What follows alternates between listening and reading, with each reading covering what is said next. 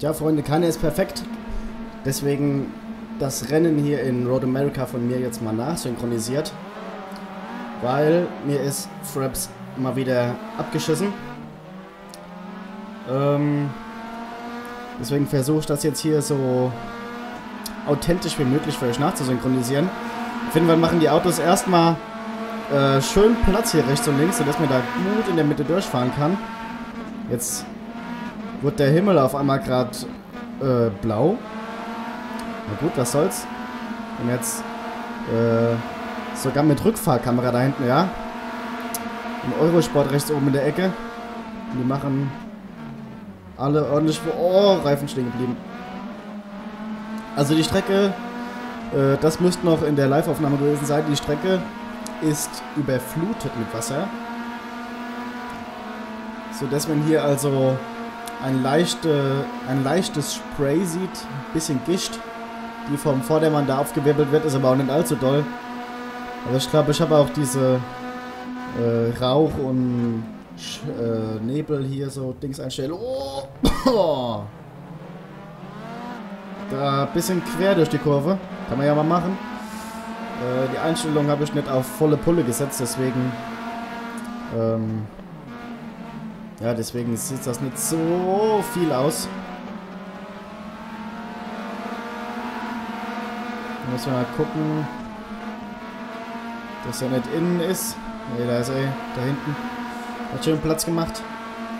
Jetzt sieht man auch, dass die Autos so ein... Oh, ja, gerade noch so gefangen. Dass die Autos so ein bisschen so ein... Ja, wie soll ich sagen? Wenn die Strecke halt nass ist, so ein bisschen Streifen hinter den Reifen herziehen, dass die Wasserverdrängung symbolisieren soll. Ich finde, das ist bei dem Spiel nicht so schön gemacht, dass wenn die Strecke wirklich nass ist oder überflutet, dass dann die trotzdem so teerhell ist. Also dass die nicht so dunkel ist, wie wenn die Strecke halt nass ist. Und oh, oh, scheiße! Oh. Oha. Die hatten anscheinend Probleme. Oh. Fuck, ey. Graz oder durch. Hier jetzt. Oh, scheiße. Voll verbremst. Das ist halt eben der Nachteil von Regen. Und ich glaube auch, dass Fraps sich hier ein bisschen mit, den Regen, mit dem Regen beißt. Probleme gab es ja schon im Qualifying, jetzt hier auch im Rennen. Also sobald es anfängt zu regnen, kann ich die Aufnahme quasi wegwerfen. Ich hatte auch eben, kann ich mal ganz kurz erzählen, hatte ich tierische Probleme mit äh, YouTube-Videos und zwar und zwar und zwar und zwar und zwar immer wenn ich die Videos halt eben abspielen lassen wollte, kam dann oben so eine Meldung, also ich habe Google Chrome, kam oben die Meldung irgendwie so ein Plugin Adobe Shockwave Player äh, reagiert nicht. Und ohne Scheiß, Leute, ich habe zwei Stunden daran rumgefriemelt. Äh, halt eben dann die ganzen Plugins und so deaktiviert und was auch immer. Ich habe dreimal Chrome neu installiert und den Shockwave Player und den Flash Player neu installiert und ich weiß gar nicht, was es letztendlich gewesen ist, aber Gott sei Dank funktioniert es jetzt wieder.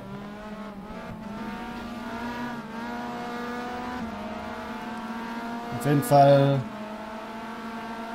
bin ich jetzt froh, dass äh, wenigstens das jetzt funktioniert, dass ich quasi die Wiederholung laufen lassen kann.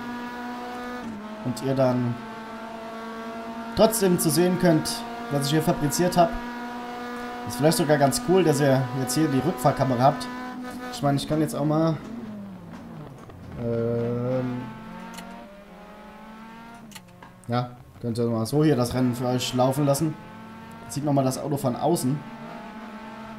Apropos, äh, hier Wiederholung, gell? Also ich habe jetzt doch gefunden, wo die ganzen Wiederholungen, die gespeichert worden sind, gelandet sind. Die sind zwar in dem Wiederholungsordner, aber die heißen komplett anders.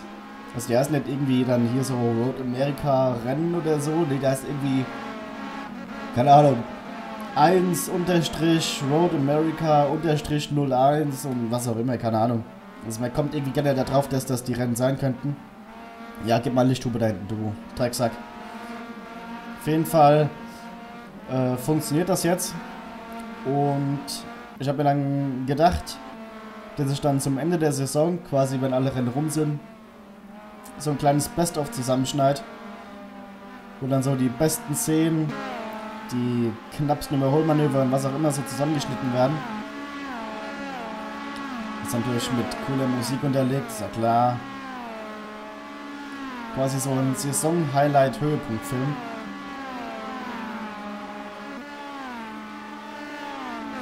Ich bin ganz schön müde, Leute. Ich weiß gar nicht warum. Können heute Morgen ausschlafen.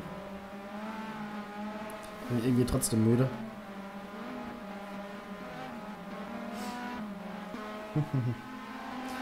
Ich sollte mal für ins Bett gehen. Zum 11 oder so. Auf jeden Fall hier jetzt zwei Autos gleichzeitig überholt, ja. Und die ganzen anderen Autos gehen an die Box. Oh, jo, schießt euch gegenseitig ab.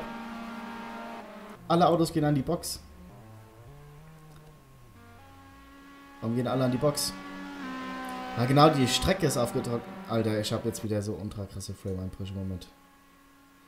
6 Frame, 1 Frame, 2 Frames. Oh, das doch scheiße, Jungs. Das ist doch scheiße. Ich kratze mich gerade schon am Kopf.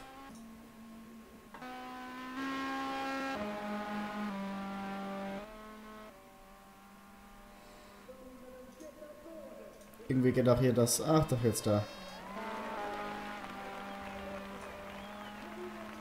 Kommt immer wieder ins Auto. Ist hier, ist hier besser?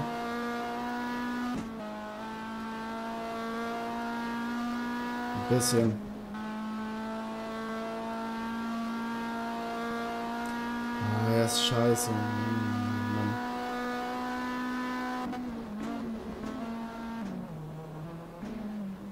Ich weiß nicht, was das ist. Also ich habe heute, das das zweite Rennen, das ich aufnehme. Und das erste... Na, jetzt geht's auf einmal wieder. Und das erste war, es lief einwandfrei, ohne Probleme.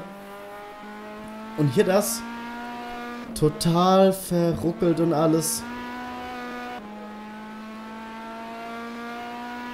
Jetzt haben wir mal wieder 70 Frames, ey. Keine Ahnung, was da los ist.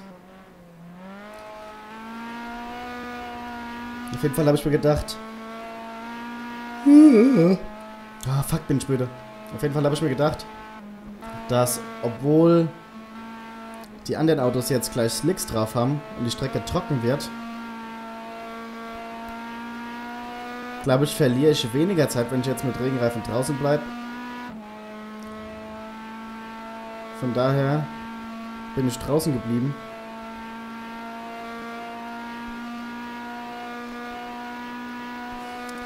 Und ich glaube, die ganzen Szenen, wo es dann gleich, also wo es wieder ruckelt, die schneide ich halt einfach raus oder die überspringe ich, keine Ahnung.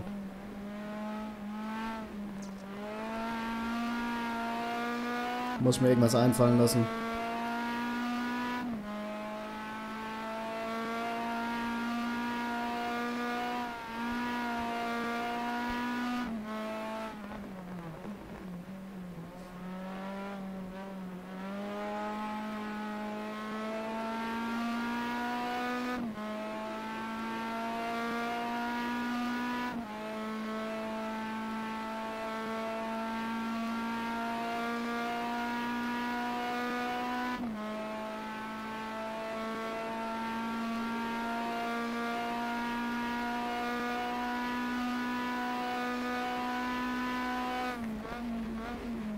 Bisschen die Perspektiven durchswitchen.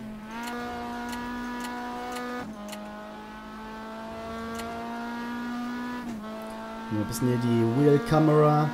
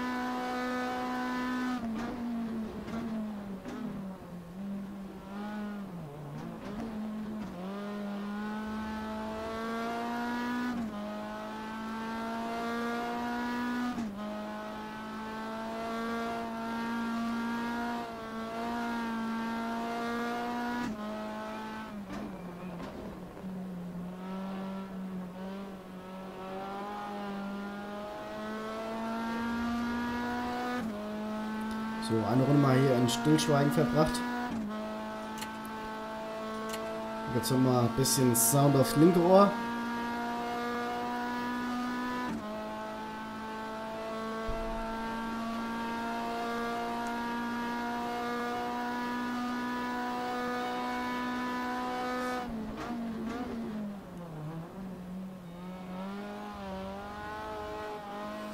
Ah, Millimeter, aber da. Das ist halt eben jetzt das Problem. Dadurch, dass ich immer noch Regenreifen drauf habe und die anderen Autos alles Slicks, sind die zwar jetzt schneller, aber den Vorsprung, den ich da äh, erfahren habe, indem ich nicht an die Box bin, ich glaube, ah, ich weiß nicht, ob die den nochmal aufholen. Auf jeden Fall habe ich jetzt natürlich einen deutlichen Grip-Nachteil. So dass es für mich im Prinzip genauso rutschig ist wie mit Slicks bei leichtem Nieselregen. Uh, ich glaube, das war zu spät gebremst, oder? Ja. Ah, das Rad kommt Da war, war Rad komplett stehen geblieben, ne?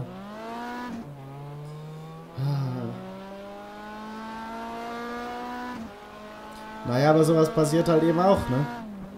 Niemand ist perfekt. Nicht mal der Computer.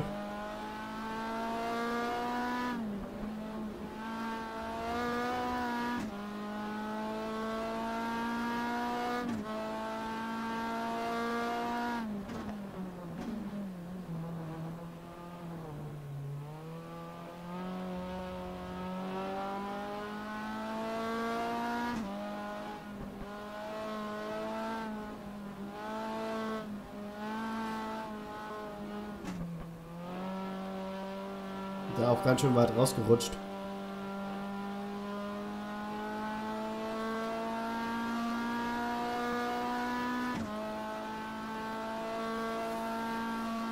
Da die Einblendung ja jetzt rechts auch fehlen, bringe ich euch mal auf den neuesten Stand. Also wir sind Führender momentan.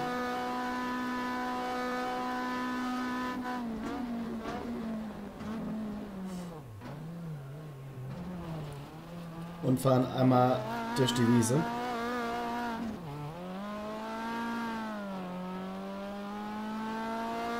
Beziehungsweise durch den Kies.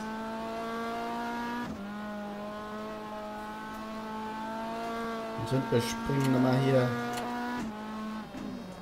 in die Cockpit-Perspektive.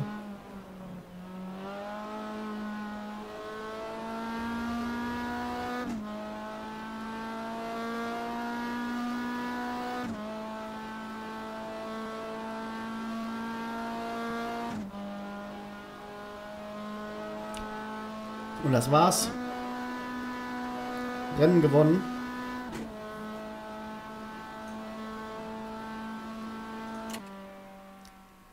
Das war es dann nämlich mit dem Rennen gewesen. Und äh, beim Rest hat Fraps auch immer wieder funktioniert. Also, keine Ahnung, das ist. Der Anfang ist drauf und der Schluss ist drauf, aber irgendwie ist das Rennen weg. Von daher gebe ich mal wieder an, ab an den äh, Live-Report hier. Ne? Also, tschüss.